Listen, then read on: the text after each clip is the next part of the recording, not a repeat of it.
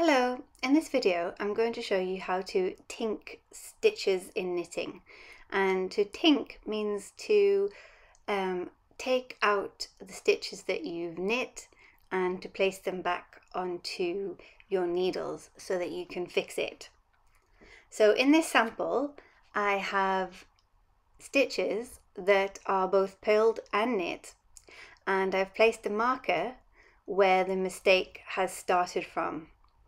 So some of those purl stitches have knitted stitches and some have knitted stitches over purl stitches.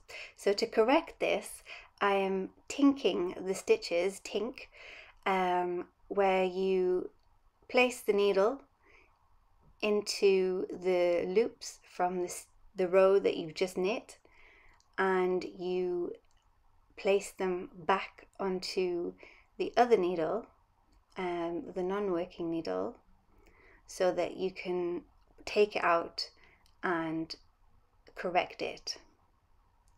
So as you can see, I'm placing the needle into the loop below so that I can take the stitch off the needle and pull the yarn out so that the stitch undoes itself.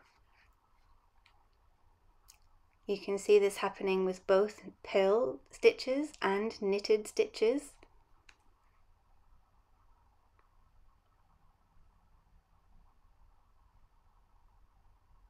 I made a mistake there. I placed the marker as it won't fit over the needle so it goes onto the stitch um, where the mistake was up to. So you can keep pulling those stitches out with the needle to fix it until you get to where um, you need to be in the pattern to start again from that mistake. It's often easier to do this rather than take the whole project off the needles and pull it out, which is known as frogging. Um, if you have noticed it um, on the row you're working on, it's easier to do this.